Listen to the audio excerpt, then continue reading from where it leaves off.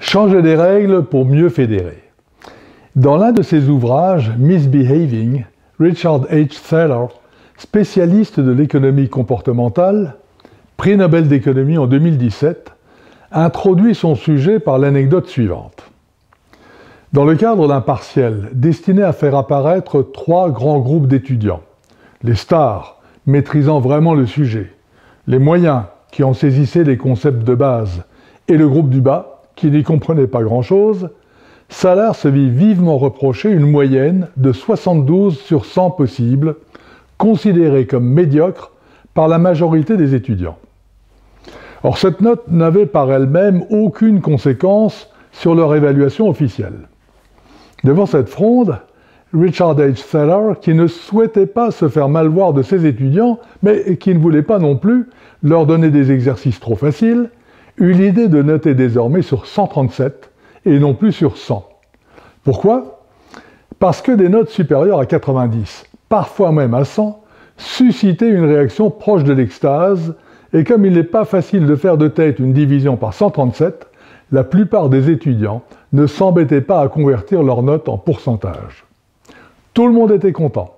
Les étudiants qui avaient tous l'impression d'avoir une note satisfaisante et le professeur qui pouvait distinguer ces trois groupes pour adapter son enseignement.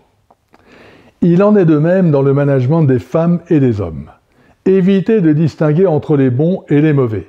Choisissez plutôt la méthode bienveillante en vous appuyant sur les meilleurs pour conduire, mobiliser, motiver tout le groupe, en mettant les suivants en mesure de les rejoindre et en faisant former le dernier groupe pour qu'ils tentent, si c'est possible, de se mettre à niveau.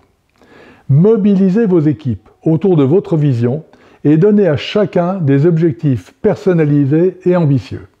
Faites-leur bâtir des cathédrales et au fur et à mesure que vous croîtrez, vous rehausserez encore le niveau des défis. 1. Décentraliser. Encouragez l'exercice de la responsabilité, l'initiative et la recherche de l'excellence. 2. Soyez cohérent.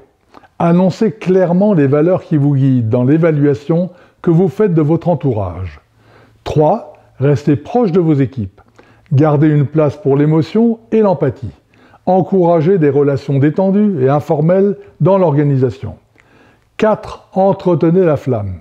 Dès les premiers succès obtenus, fêtez-les. Profitez de n'importe quel prétexte pour organiser un pot. C'est rapide, peu coûteux et valorisant. Le sentiment d'appartenance au groupe social s'en trouve renforcé. 5. Accordez autonomie et indépendance. L'engagement et la satisfaction de vos collaborateurs reposent le plus souvent sur l'autonomie et l'indépendance. De plus, la liberté favorise la créativité et l'innovation car elle impose de réfléchir ce que le suivi routinier de procédures rigides ne permet pas. Chez Netflix, pourtant devenu aujourd'hui une grande entreprise, il n'y a pas de manuel de procédure. La politique en matière de dépenses est agir dans l'intérêt de Netflix. La politique en matière de ressources humaines tient en cinq points. Premièrement, embaucher, récompenser et ne tolérer que des collaborateurs matures. Deuxièmement, être transparent sur les performances. Troisièmement, constituer des équipes performantes et la mission des managers. Quatrièmement, créer la culture de l'entreprise et la mission des dirigeants.